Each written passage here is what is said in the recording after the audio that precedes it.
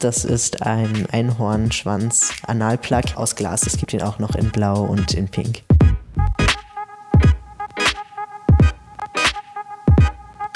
Other Nature. Wir sind ein alternativer, queer-feministisch orientierter Sexladen in Kreuzberg. Wir sind grundsätzlich offen für Menschen aller Geschlechter, Orientierung.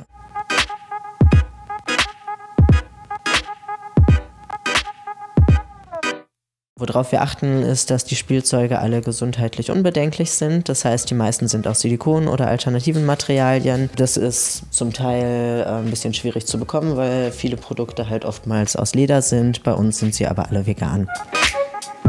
Was unsere Auswahl an DVDs angeht, ähm, versuchen wir möglichst darauf zu achten, dass übliche ähm, sexistische Klischees nicht bedient werden. Die Auswahl ist relativ eingeschränkt, darum gibt es bei uns auch nicht so viel, aber dafür ähm, kann man davon ausgehen, dass das, was wir hier haben, dann auch ja, anspruchsvolleren Gemütern gerecht wird.